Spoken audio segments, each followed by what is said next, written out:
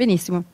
Benvenute eh, e benvenuti eh, a questo dialogo che fa parte del program della mostra Exposure. Exposure è una mostra che tratta il tema della vetrina, ovvero di un dispositivo museale che è finalizzato alla conservazione, ma è anche molto di più di un oggetto che serve a, a prolungare la vita di quanto viene contenuto. È un oggetto che ha un valore simbolico, la vetrina ha un valore eh, ovviamente anche di protezione e di dissuasione dai furti.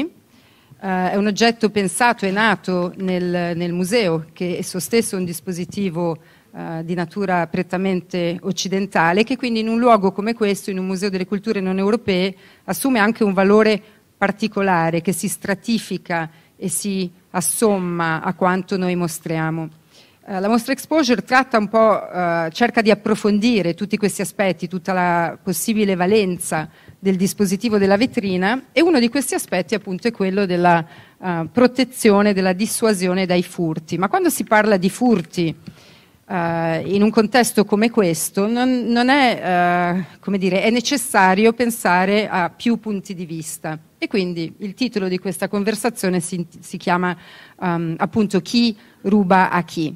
E a questo proposito abbiamo invitato Michele Minetti, che è capitano appena nominato del Nucleo Tutela Beni Culturali di Monza, e Massimo Osanna, direttore generale musei per il, per il Ministero dei Beni Culturali. Um, Carlo Antonelli modererà questo incontro, io um, in qualche modo mi aggiungo laddove ehm, possa essere necessario.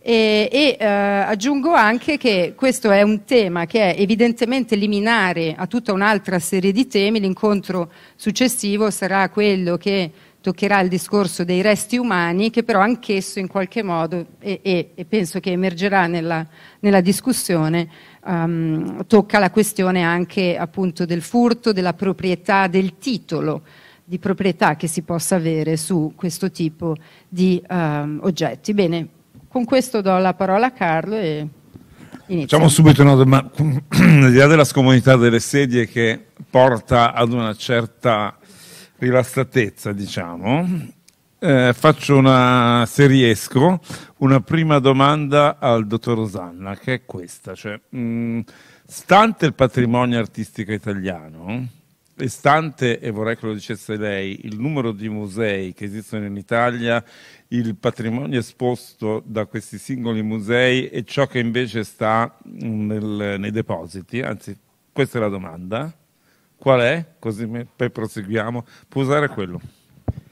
La, domanda, la risposta è facile, eh, i, i, musei nazionali, quindi quelli che eh, sono di diretta competenza della, eh, dello Stato e quindi del Ministero della Cultura, Direzione Generale Musei, sono 492. Mm-hmm. Ovviamente si tratta di gallerie, pinacoteche, parchi archeologici, eh, castelli, palazzi storici, giardini storici e eh, secondo un censimento fatto da, da, da poco, i, in questi musei nazionali i reperti esposti sono circa 500.000 in deposito e sono il 10% di quello che invece è in deposito.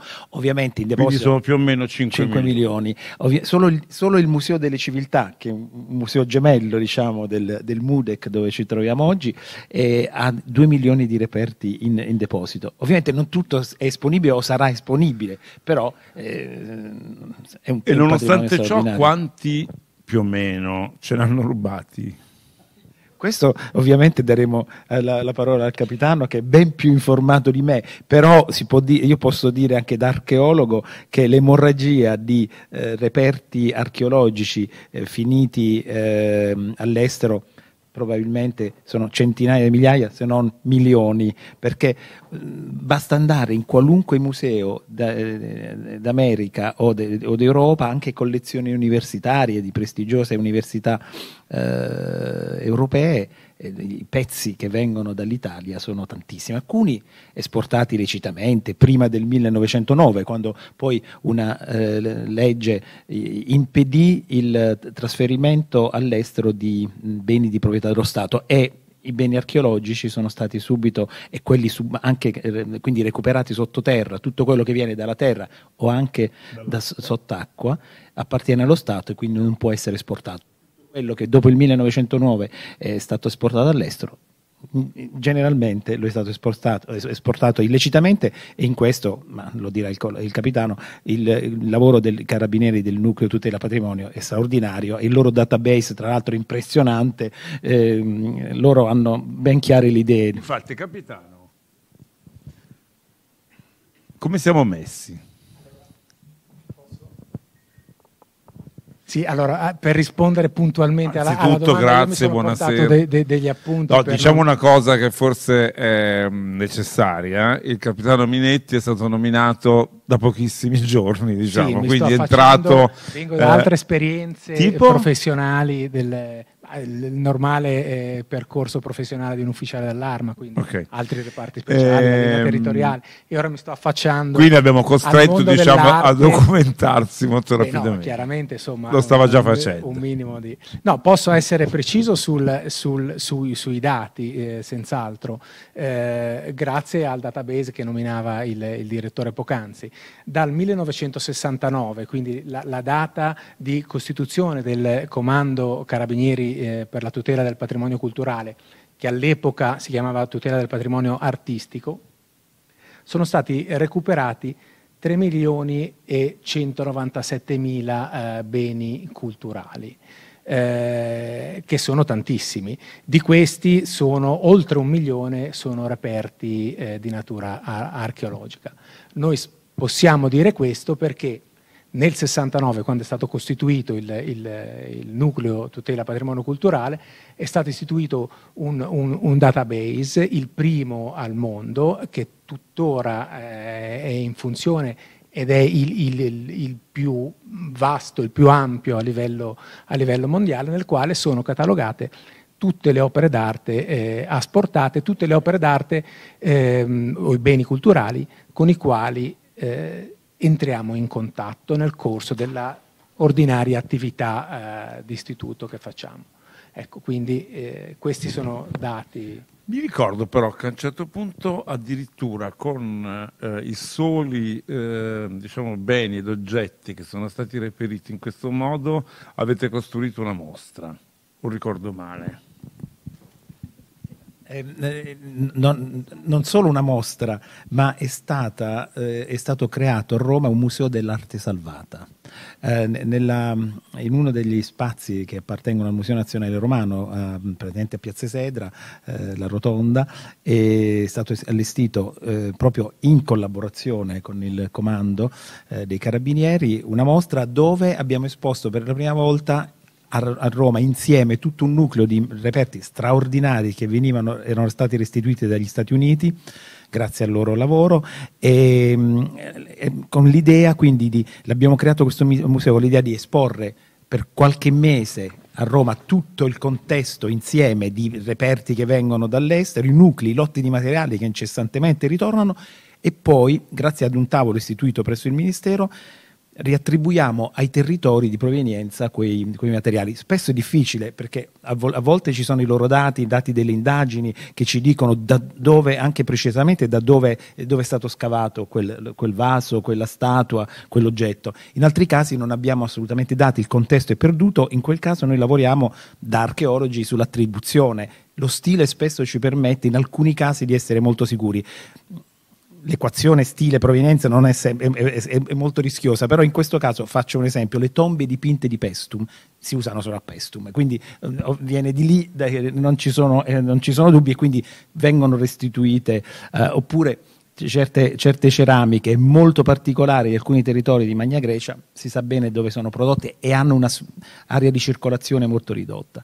Più difficile per esempio le ceramiche attiche che erano... Eh, in questo network mediterraneo erano fatto di mobilità di uomini e di oggetti, erano, er-, erano richiesti dovunque, dall'Etruria, dalla Magna Grecia, ai popoli italici, quindi spesso è più difficile. Molte volte vengono dall'Etruria perché i luoghi saccheggiati per eccellenza sono Cerveteri e l'Etruria, Tarquinia, i tombaroli sono lì, nella Puglia, soprattutto quella settentrionale, la parte di Foggia, che è stata saccheggiata veramente fra anni 80-90, e poi l'area vesuviana ovviamente, Pompei dove proprio anche di recente abbiamo, eh, siamo riusciti ad arrivare prima dei clandestini nella, salvando questo carro cerimoniale che poi ha avuto grandi riscontri mediatici perché era tutto decorato di bronzo e d'argento ed è stato un grande successo. Fatto quello era il, sì, il mio precedente lavoro quando ero a Pompei, ma questo con un'altra collaborazione strettissima, oltre che ovviamente con i carabinieri,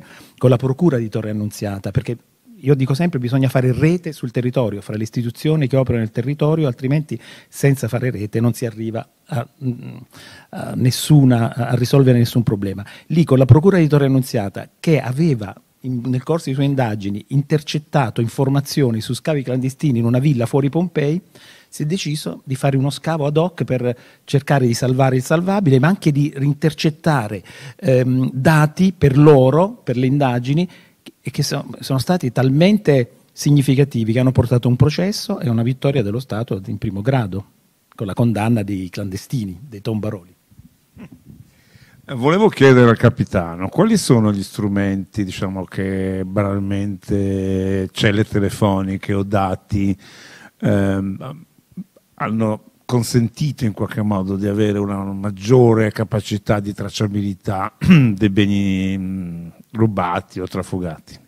Beh, diciamo che le indagini eh, per la, eh, il contrasto mm, alla violazione di norme in materia di beni culturali avviene con le modalità eh, con cui si conducono le indagini eh, tradizionali, quindi c'è tutto il campionario di eh, analisi dei tabulati, pedinamenti, osservazioni, analisi dei documenti, eh, diciamo non, non, cambia molto il tipo di attività.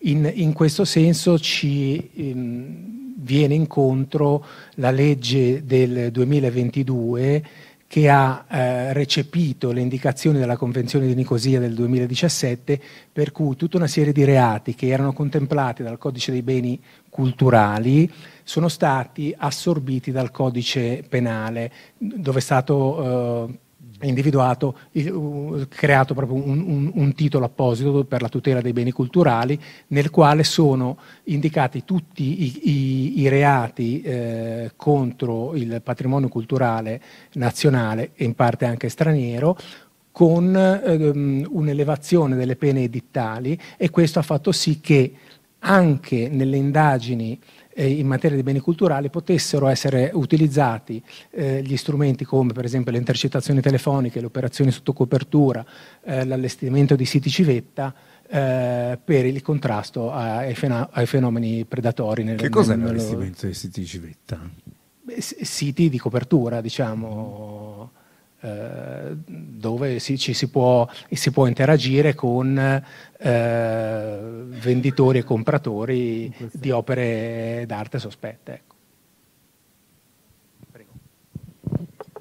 Ma oltre a essere l'Italia e il suo patrimonio ovviamente vittima di questo tipo di um, situazioni, c'è anche il, il discorso opposto, no? che per noi eh, musei etnografici è un problema di, di, primo rilievo perché nel caso di donazioni o di acquisizioni, per esempio, dobbiamo no, verificare che l'origine, la provenienza, eccetera, rispondono a tutta una serie di uh, criteri.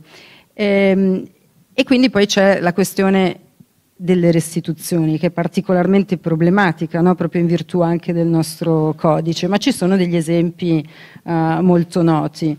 Uh, ci potresti spiegare in che modo l'Italia, che ha uno dei codici probabilmente più rigidi no? nei confronti dei beni culturali, ha affrontato o può affrontare un eventuale discorso relativo alle restituzioni? Sì, il, il, discorso, ovviamente il flusso di, eh, dire, di, reperti in uscita è incomparabilmente superiore a quelli in, eh, eventualmente in entrata o che sono entrati soprattutto a causa del nostro passato coloniale. Uno, un, una, diciamo, un passato coloniale, non, una storia non così, come dire, eh, significativa come per altre nazioni, però ha prodotto tutta una serie di, di reperti ma negli anni Ottanta si è iniziato in Italia molto precocemente a discutere sulla necessità di restituire soprattutto alcuni oggetti simbolo delle culture, de, delle aree colonizzate pensate all'Africa. E così si cominciò con, eh, già negli anni Ottanta, se non sbaglio era l'85, restituendo all'Albania eh, la dea di Butrinto. Butrinto è un bellissimo sito archeologico nel sud dell'Albania, molto, poco sopra la Grecia, eh, e si, si, restituì già allora questa, questa, scultura e dopo ce ne sono state tutta un'altra serie, famosa, la famosa stele eh, di Axum che è stata restituita all'Etiopia nel 2005, credo fosse il ministro Rutelli in quel momento. E, ehm, Dopodiché, eh, per esempio, eh, l'altra statua di Cirene restituita alla Libia, l'Afrodite di Cirene. Ovviamente tutto questo è, da un lato non, non, è un'operazione facile, nel senso che c'è tutto un dibattito dietro, perché gli oggetti hanno una biografia, acquisiscono una biografia anche nella, um, nel luogo in cui poi sono arrivati. Pensiamo al Museo Egizio di Torino con tutte le antichità egiziane, cioè, hanno, sono lì dall'Ottocento, hanno avuto una vita molto significativa in quell'istituzione, quindi difficile dire adesso restituiamo tutto, anche perché poi lì sono uscite, come dire, non illegalmente dall'Egitto, ma quando si poteva acquisire, eh, ovviamente in una situazione particolare, eccetera. Però eh, al di là di questo, quindi la, su, sul fatto anche che cosa restituire, come, ehm, che cosa è giusto restituire, c'è il problema dal punto di vista giuridico, come affrontare la questione, perché una volta immessi nel patrimonio dello Stato, il patrimonio dello Stato è inalienabile. Quindi eh, questo per esempio ci siamo trovati mo- recentemente in una situazione del genere quando si è deciso di restituire alla Grecia, che tra l'altro è stata un, un'operazione dal punto di vista anche simbolico di grande eh, portata, si è restituita al Museo dell'Acropoli ad Atene un pezzo, una, um, un pezzo, del fregio, del famosissimo fregio fidiaco del Partenone. Voi sapete che mh, da decenni la Grecia reclama i marmi Elgin arrivati all'inizio dell'Ottocento um, a Londra che sono esposti al British Museum. Ovviamente nos, quel, quello nostro che faceva parte della collezione Fagan, quindi arrivato già nel Settecento eh, in Italia, era un pezzo leggi- legittimamente come dire, ehm, posseduto, però si è deciso, anche per una questione di diplomazia culturale, di restituirlo alla, alla Grecia. E ovviamente quindi innescando un bel dibattito, perché era la prima volta che si restituiva un pezzo di questo con, di, complesso incredibile che è il Partenone, una dei, delle opere più de, dell'antichità che aveva una sua unità, un'armonia nell'unità che invece adesso è disperso in vari musei, non solo il British ma anche altri, altri musei, per esempio il Louvre di Parigi. Quindi restituire in quel caso è stato di grande effetto, ricordo quando sono andato ad Atene la, la ministra piangeva, la Mendoni, proprio perché era una cosa eclatante, che tra l'altro riapriva le loro richieste.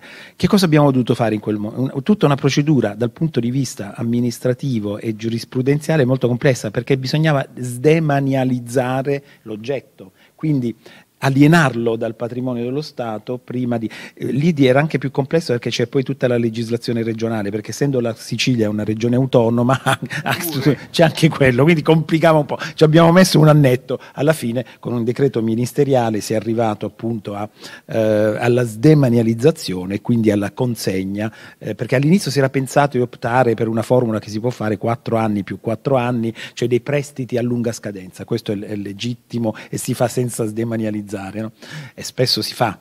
Eh, in questo caso invece bisognava proprio restituire, ria, diciamo, riattribuirlo al patrimonio della Grecia. E così è stato fatto. Quindi con, in questa maniera diciamo, questo apre la pista per tutta un'altra serie di possibili restituzioni. E che ci è arrivato a noi di clamoroso? Che ci hanno restituito?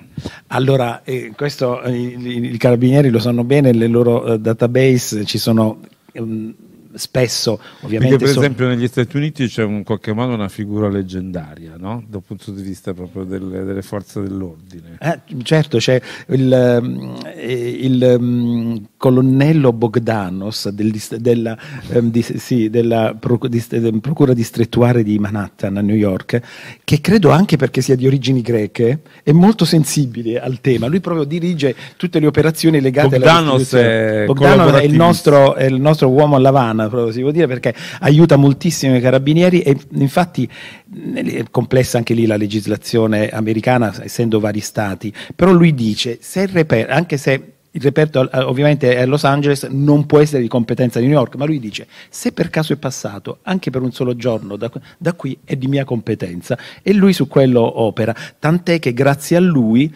abbiamo eh, avuto di recente decine, decine, centinaia di reperti, ma ne voglio ricordare soprattutto uno, questo gruppo straordinario di Orfeo e le Sirene, che è un gruppo in terracotta a grandezza quasi naturale, ehm, con il eh, mitico eh, appunto ehm, personaggio, Orfeo, no? che, sta, che, suona e davanti a lui ci sono le sirene, anche loro in, in atteggiamenti musicali, che mh, mm, era conservato uh, al, al Getty Museum e proveniva molto verosimilmente dall'area di Taranto lo dice lo stile, lo dicono anche eh, dati che sono in possesso dei carabinieri e questa restituzione è venuta proprio grazie a lui, tant'è che brevemente racconto questo aneddoto molto simpatico. A un certo punto, appena mi sono insediato come direttore generale del museo, ho ricevuto una delegazione del Getty che mi ha molto sorpreso, erano tutti gli, gli, gli, i vertici del Getty, venivano da me a dire che volevano restituire volontariamente il gruppo io quindi con grande sorpresa dico, vado dal ministro, allora il ministro Franceschini dico, ma vengono da noi, però in contraccambio vogliono fare una dichiarazione comune, in cui una conferenza stampa, in cui diciamo che la grazie alla collaborazione fra i due musei, eccetera, e poi riaprire anche i rapporti di collaborazione perché il ministro Franceschini, tra l'altro ribadito e anche inasprito anche dal ministro San Giuliano adesso, la, la decisione di non avere rapporti eh, di scambio scambio o di, di, anche collaborazioni culturali con musei che hanno delle pendenze con noi. E, ehm, e quindi loro volevano riaprire questa, questa collaborazione. Io poi non, ero così un po' ingenuamente entusiasta, non avevo capito, ma siamo stati messi poi sul, sulla strada dall'allora generale del nucleo tutela, c'era Bogdanos che aveva fatto già una, una, una, stava procedendo alla confisca, quindi loro volevano arrivare prima della confisca a restituire per la reputazione ovviamente. Ma non siamo collegati sulla rete per vedere la faccia di Bogdanov? no, non lo so. Peccato. Capitano, ehm... vedo una restituzione della, ah Venere, di Cirene, la Venere di Cirene. No, e quindi eh, alla fine è tornato, è tornata. E la cosa però ancora più divertente è che poi quando mi, mi chiamarono dal Getty dicevano, beh allora facciamo un comunicato. In che senso? Dicendo che la nostra collaborazione detto, beh, ha cambiato un po' le condizioni. Questo è, una, diciamo, è, una, è un ritorno coatto, non, non, non più spontaneo. E, però ancora abbiamo delle pendenze col Ghetti, che è il famoso atleta di Fano, anche lì opera che è stata recuperata nelle acque di, di Fano, che il, il, il, il Tribunale italiano ha dichiarato essere italiana e quindi deve essere restituita all'Italia, ma loro no, ancora no, cedono, non cedono perché appunto fanno appello alla loro eh, legislazione. Come siamo messi quindi in tal senso? Glielo volevo chiedere, capitano, e nel frattempo volevo mh, mm, chiederle come si struttura la vostra unità. O... Sì, allora intanto mi riallaccia a quello che stava dicendo il direttore adesso, questa figura mitica di Bogdanos, nonostante io sia arrivato da poco eh, in, in, questo settore, l'ho sentita nominare, appunto come dice lei, come eh, nostro uomo alla, alla, alla Havana. E, eh, mi ha, attacco anche al, al, al, discorso sulla diplomazia culturale che faceva, eh, che chiaramente è, è, in capo al Ministero e, a, e al Comitato eh, per il recupero e la restituzione dei beni culturali, costituito da esperti giuridici e, eh, del settore dei beni culturali, dove è inserito anche un ufficiale eh, dell'Arma dei Carabinieri del tutela patrimonio culturale.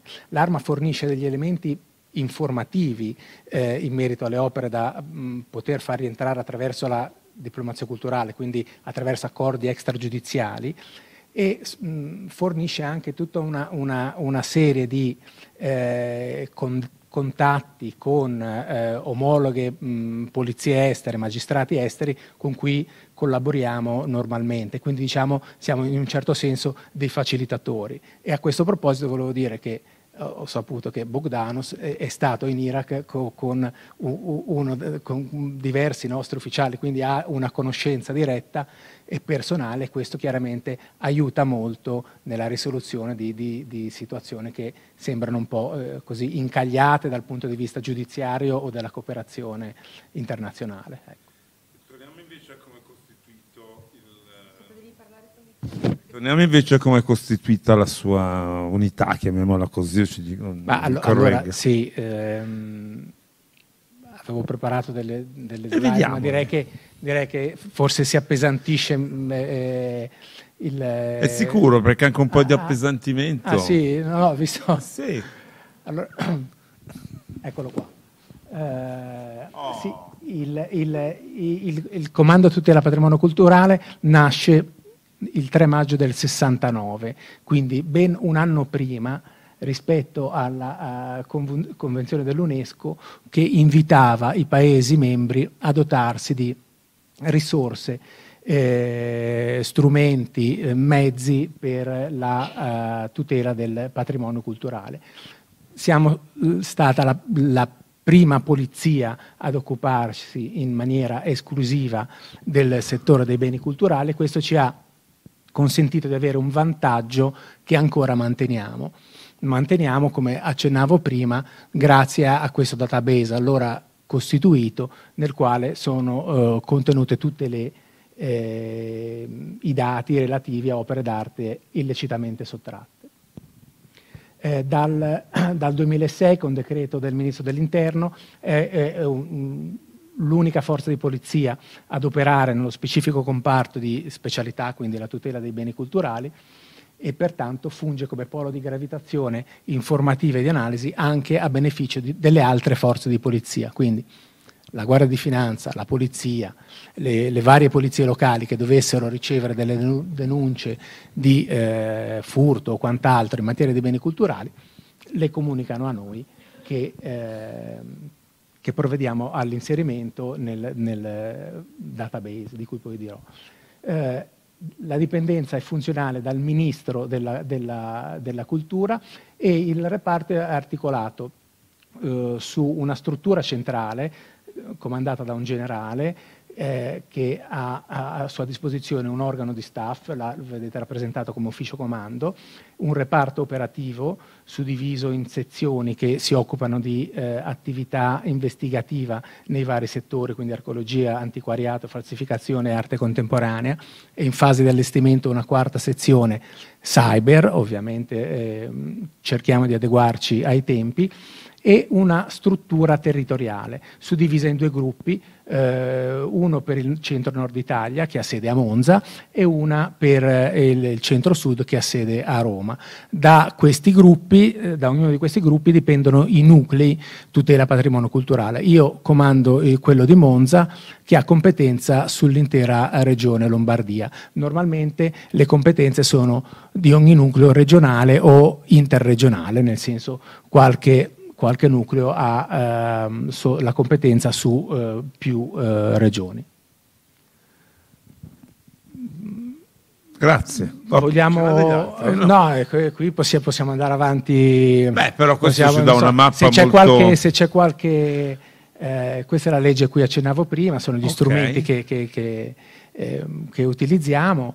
Eh, vogliamo vedere, magari passiamo accennavamo prima, prima eh, le, le, le, attività, le, attività, mm, che, che, facciamo sono di natura preventiva, quindi controlli nei musei, nelle biblioteche, negli archivi, esercizi commerciali di settore, controlli sui siti internet eh, per quanto riguarda il commercio, eh, i cataloghi delle case d'asta, nonché controlli sulle, eh, sui siti archeologici attività di contrasto si sostanzia nell'attività di polizia giudiziaria, come accennavo prima, tradizionale, quindi le investigazioni volte al recupero principalmente questo, il recupero delle, delle, dei beni culturali sottratti, poi attività di addestramento in favore di polizie eh, straniere sotto l'egida dell'UNESCO, dell'Unione Europea, dell'OSCE. Abbiamo molteplici collaborazioni con eh, omologhe polizie che in un certo senso contribuiamo a, a, a far crescere e ehm, Abbiamo, siamo parte una, della task force Caschi Blu della Cultura, che è un'unità in, inserita nel Ministero della Cultura, di cui fanno parte carabinieri e funzionari del Ministero della Cultura, che interviene in tutte quelle zone eh, diciamo destabilizzate, destabilizzate o da calamità naturali o da eventi bellici, dove sia necessario eh, censire, mettere in sicurezza e possibilmente recuperare i eh, beni culturali di, di, quel paese. In ultimo forniamo il nostro contributo alla diplomazia culturale. Grazie. A proposito di sicurezza eh, e a proposito anche della mostra che c'è eh, qui dietro, cioè exposure. Eh, I sistemi di sicurezza, le teche, tutto ciò che si fa, i sensori, tutto ciò che si fa eh, per proteggere mh, l'opera, chiamiamola così, ehm, influisce sulla visione dell'osservatore, influisce sulla visione dello spettatore e quindi in tal senso la vetrina è un, um, uno schermo, un sistema di protezione, o è a volte una cattiva idea? Questo è un tema molto, diciamo, proprio di museologia e per noi che ci occupiamo di musei è un tema fondamentale. Io devo dire, al di là della, dell'aspetto appunto, che è fondamentale, su cui quindi non si discute, la, la, vetrina mette in sicurezza alcune opere che sono molto fragili e, e che quindi mh, soffrirebbero uh, ad essere, sarebbero in pericolo se fossero esposte eh, prive di questa protezione, da un lato. Quindi per possibili attacchi, diciamo, antropici, beh, pensiamo anche, a, anche i musei sono stati oggetto di attenzione da parte degli ambientalisti, come sappiamo, con tutta una serie di attività. Di solito mh, contro i vetri delle, no, delle, delle, che proteggevano le opere. Ma al di là di questo, la vetrina ovviamente è fondamentale per esempio per ceramiche, vasi molto fragili, vetri, ma allo stesso tempo è fondamentale perché, come giustamente tu dicevi, per di, per proteggere l'opera dagli agenti atmosferici. Alcune, alcuni oggetti, alcune opere non possono essere esposte alla, dire, al, al, contatto con, anche con l'alito diciamo, dei, dei, visitatori e devono, i, alcuni bronzi sono, hanno, sono, delicati. Pensate ai bronzi di Riace. Per entrare a visitare i bronzi di Riace bisogna dire, prima fare un, un transito per una, una, una stanza per alcuni minuti e poi si può accedere al, um, a, a, vedere i bronzi. Quindi c'è sicuramente questo aspetto che quindi è prioritario, in questo la tutela è fondamentale. Però dall'altro punto di vista la vetrina in fondo ci aiuta anche nelle narrazioni, perché la, la vetrina significa anche disporre il pezzo in una determinata maniera, corredarlo di indicazioni, metterlo all'interno di un allestimento e di, una, di un'architettura di, diciamo, di interni che aiuta la, il, il discorso che il curatore vuole proporre. Non c'è una maniera di raccontare una storia, non c'è una sola maniera di raccontare un oggetto, gli oggetti hanno biografie complesse e quindi è spesso è il curatore in dialogo con le comunità molte volte, no? soprattutto se si tratta di oggetti etnologici, va fatta quindi in, maniera dialogica e non impositiva, va fatta, però è un discorso che si crea, si costruisce e lì la vetrina io credo tutto sommato aiuti, aiuti nella disposizione, aiuti nel creare un ensemble che ha, può avere un senso sia estetico che concettuale. Però è anche vero che in determinati tipi di museo, anche per una questione banalmente dimensionale, però eh, la, la, la, vetrina è stata utilizzata in maniera sistematica, no? tale quasi da rappresentare l'idea stessa di museo etnografico, di museo archeologico, mentre in altri ambiti si osa molto di più. Però io per esempio apprezzo molto le, le, le vetrine le, fatte da Cipperfield per il Mudec, sono belle, cioè sono belle, sono oggetti, cioè le vetrine possono essere anche delle opere d'arte. Quelle sono belle e, danno, e hanno, da, hanno un significato, perché lì l'esposizione di oggetti etnografici all'interno di quelle vetrine che hanno quel sapore vintage, diciamo, richiama gli allestimenti precedenti e come venivano eh, spesso esposti questi oggetti in maniera tassonomica, tipologica, ripetitiva. Questo è, una, è, un, è un discorso fa parte del discorso. Certo, poi ci sono alcuni casi in cui ci sono delle vetrine orribili, ipertrofiche, esagerate, alcuni allestimenti degli anni 80 li butterei tutti al macero perché sono veramente, è la vetrina pesante che adesso si usano spesso vetrine trasparenti, si usa molto, no, la, la parte molto leggera e devo dire possono essere anche avere un aspetto positivo. Poi è chiaro che anche a me piacciono le statue, piacciono fuori dalla vetrina, alcuni vasi li puoi esporre fuori, però ci deve essere un equilibrio ovviamente, come in tutte le cose.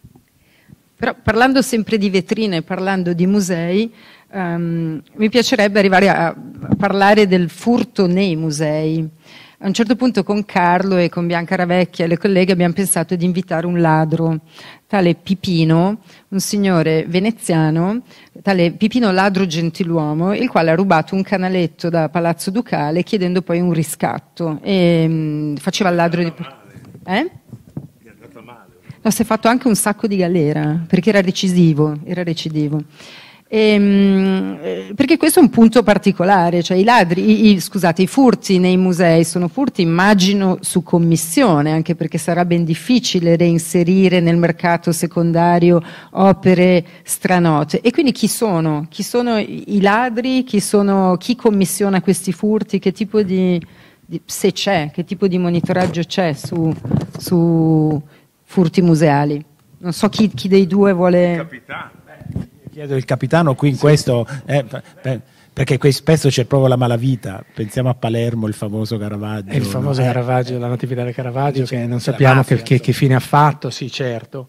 Eh, ma eh, diciamo che i, i, i beni culturali eh, hanno un, un, un, valore che per eh, gli appassionati è, è, inestimabile perché è il valore culturale, il valore, l'identità, del, i, però hanno anche un mercato, un uh, lecito e illecito, quindi hanno anche un valore di mercato. È chiaro che eh, qualsiasi oggetto che ha un valore eh, diventa appetibile per eh, chi delinque. Ora, nello specifico, eh, anche più recentemente eh, c'è eh, stata mh, il, la, la, la, rapina di opere d'arte al Museo di Castelvecchio una decina d'anni fa a, a, a Verona. Eh, in quel caso il, il Comando Tutela Patrimonio Culturale ha recuperato le opere d'arte, se non erro, in Moldavia.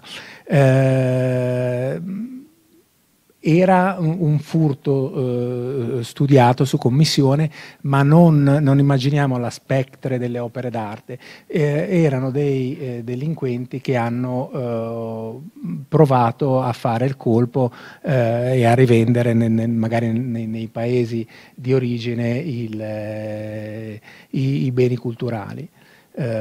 Quindi mh, mm, aggiungo una cosa. Mh, mm, sì, io aggiungerei anche che ci sono ovviamente c'è, c'è le, le, la malavita, la, può esserci la mafia, essere, però ci sono anche casi, come dire, sono molto vari. Pensate al, al caso del British Museum, che, che, uh, delle cronache più recenti, dove era interno, era il curatore senior delle collezioni eh sì. che vendeva in eBay il, il, um, i prodotti, cioè, i, i, i, i manufatti.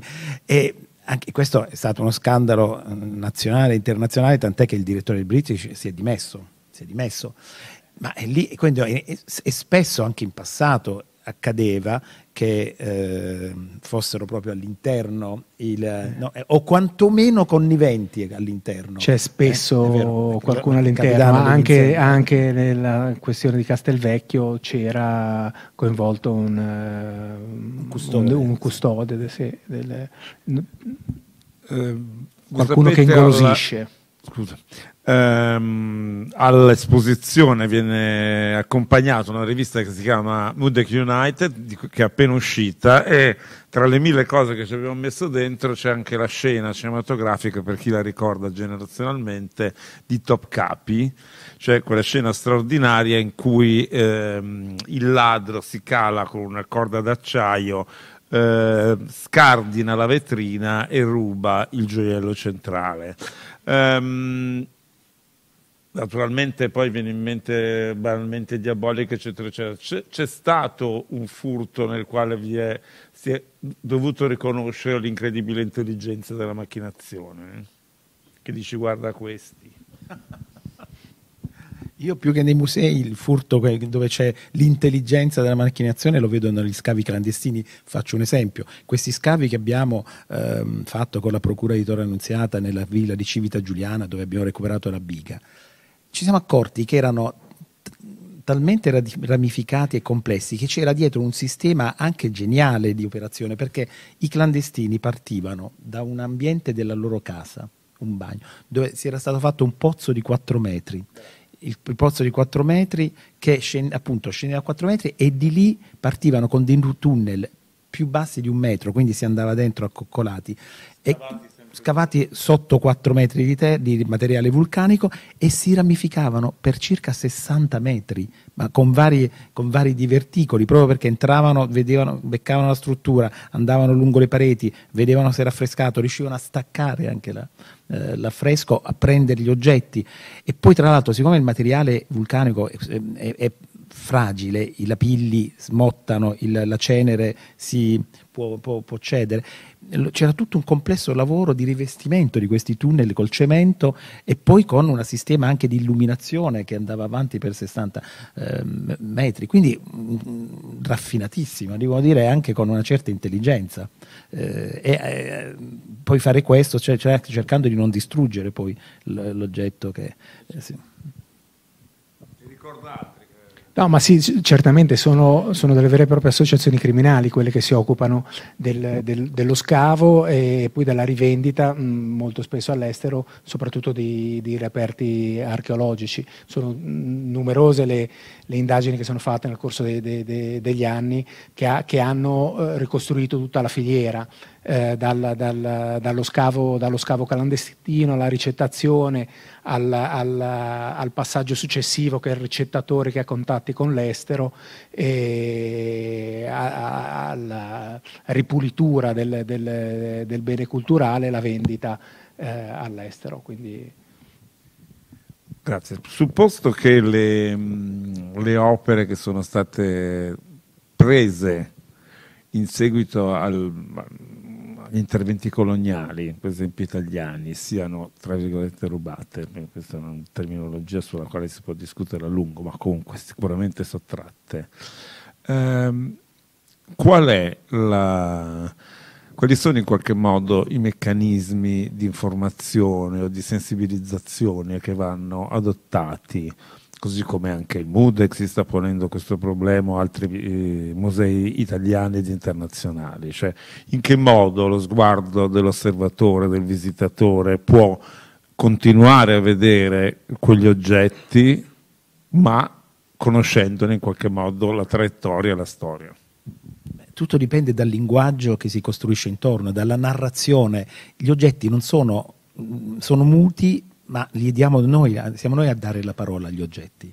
Quindi quelle opere, se tu le metti semplicemente in una vetrina o su una parete di, una, di, una, di un museo con una semplice diascalia in cui ti dice il titolo, ti dice la provenienza e, l'anno in cui è stato fatto, è stato recuperato, eccetera, non dici nulla, invece è la narrazione che c'è dietro, che deve essere fatta in maniera adeguata, deve essere fatta, come dire, non cancellando l'esperienza, ripulendola in maniera no, con senso di colpa il, dal, da un passato scomodo, ma raccontandolo perché sia anche monito per il presente e che eh, insegni al presente e faccia capire come certe cose, certi oggetti sono portatori anche di violenza. I bronzi del, del Benin, che sono fra ehm, l'Humboldt Forum e il, ehm, il Kebran Lee o anche in Inghilterra, questi sono, sono sono frutto però del saccheggio sistematico fatto dalle truppe coloniali dei palazzi reali del, del Benin.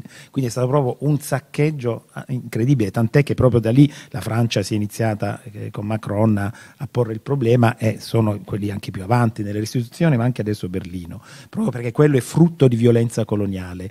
E, mm, e quando, quando c'è un libro di uno scrittore eh, inglese ehm, che ha intitolato proprio su questi oggetti di provenienza coloniale che ha chiamato, del British che è intitolato The Brutish Museum eh, che è proprio dove denuncia eh, questo, ehm, questa attitudine coloniale anche, nel, anche, nell'esposizione. Cioè le esposizioni sono fatti delicati devono essere fatti oggi non le si può più fare in maniera asettica senza una riflessione e senza una denuncia e, ehm, il Museo delle Civiltà a Roma, con cui il MUDEC ha strettissimi rapporti, come so, ehm, per esempio ha riallestito una scomodissima sezione del museo, che è l'ex Museo Coloniale, che cioè, era a Roma. Cioè, una grana, infatti è stato in deposito fino a due anni fa, no? anzi un anno fa, perché nessuno si voleva no? sporcare le mani.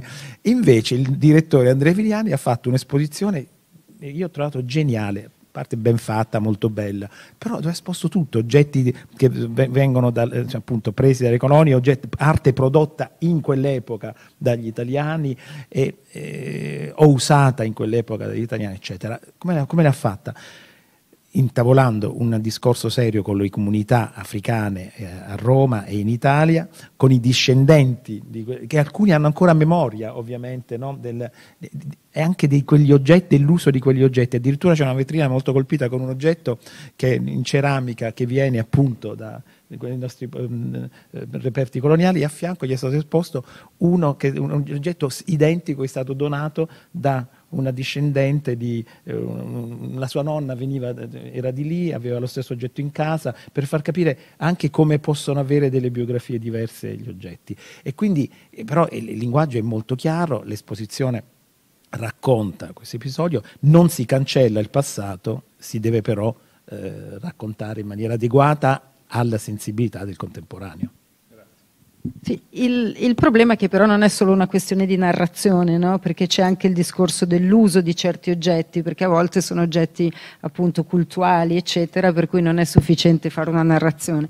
E, e quindi qui si creano paradossi, perché ad esempio in Canada c'è il caso famoso di, di un museo che sta lavorando sulla conservazione di determinati oggetti che poi presta alle comunità di First People che pre prendono in prestito i loro stessi oggetti per usarli per delle cerimonie annualmente. No? Quindi c'è anche una sorta, ritornando al discorso di chi ruba a chi, di, di paradosso anche sulla proprietà, legata anche poi al possibile uso. Io non ho idea di che ora è fatta. No, benissimo, domande? Dai, solita scena. Considerato che il dottor... Eh, ce n'è una, ah. vai. Bisogna parlare col microfono, scusate, per questo tutto questo palleggio perché stiamo registrando. Io ho una domanda per il comandante. Volevo capire se eh, c'è una sorta di, tra virgolette, scadenza eh, temporale oltre la quale diciamo, cessano le indagini in qualche modo rispetto agli oggetti che non si trovano più, oppure rimane aperto eh, virtualmente per sempre il, la ricerca.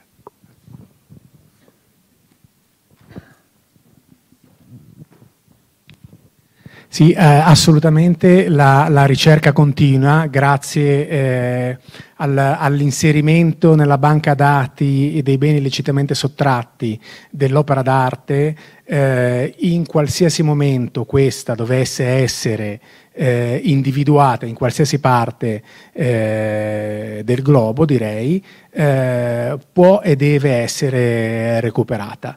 Poi, mh, da un punto di vista tecnico-giuridico, eh, l'individuazione dell'autore del furto piuttosto che della ricettazione è soggetta alle norme che regolano la prescrizione dei, dei reati. Ecco, quindi, però il bene sicuramente viene recuperato.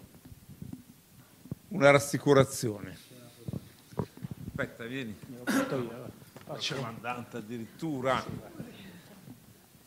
Io invece avevo una domanda per il professor Osanna, volevo sapere se l'Italia sta pensando a una legge per la restituzione dei beni non europei conservati in Italia che eventualmente possano essere reclamati da qualche Stato estero.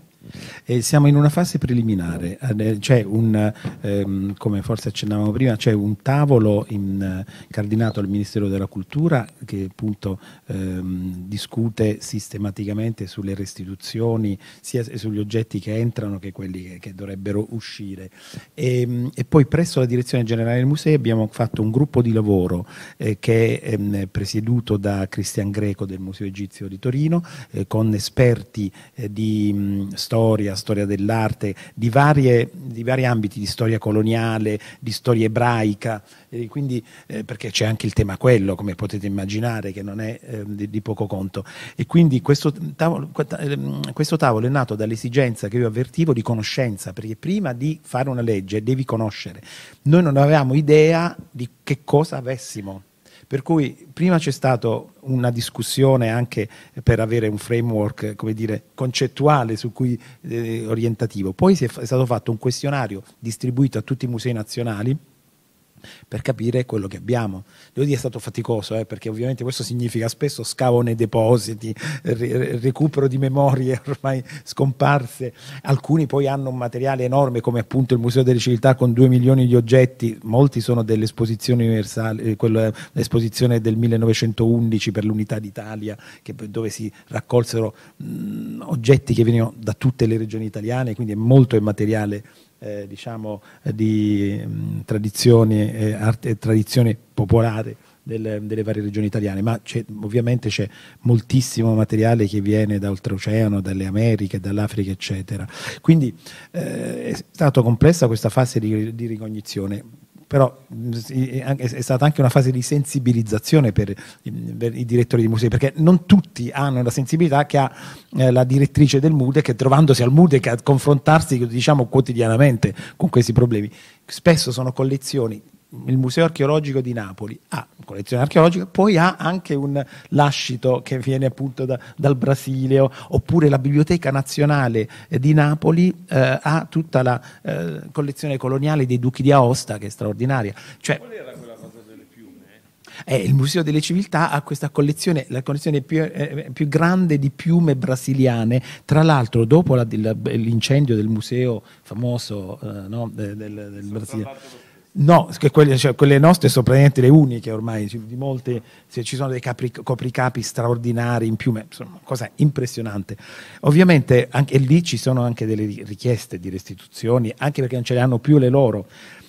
Però anche su questo, allora, quindi c'è il tavolo che lavora e poi il discorso diventa politico. Noi facciamo il lavoro tecnico ovviamente, poi la decisione è politica. Se devo esprimere il mio giudizio, io sono per restituzioni mirate, nel senso se eh, noi abbiamo 100 copricapi con piume delle culture brasiliane e loro non ne hanno più uno, noi dobbiamo qualcuno, la dobbiamo, eh, possiamo, possiamo restituirlo per esempio la Danimarca dei, dei Tupinambà esistono questi dieci uh, mantelli tutti in Europa, la Danimarca ne ha due e adesso ne sta restituendo uno, quindi c'è, proprio, c'è anche un discorso oggettivamente di, di giustizia distributiva.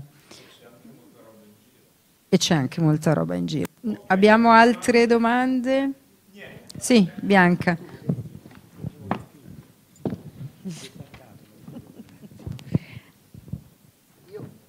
Chiedere, volevo chiedere una cosa sulla narrazione, perché, proprio perché lavoro in questo museo, noi parliamo molto di questi argomenti, ma le narrazioni, bene o male, le facciamo sempre noi, noi inteso come un gruppo europeo, bianco, eh, cresciuto con una certa cultura, tipicamente occidentale, e anche infatti le nostre i nostri allestimenti, la nostra conservazione. Poi cerchiamo, come dicevamo, che fa, fa anche il Museo delle Civiltà, di procurare un incontro con chi eh, arriva da quei paesi o ha memoria in qualche modo di paesi di origine.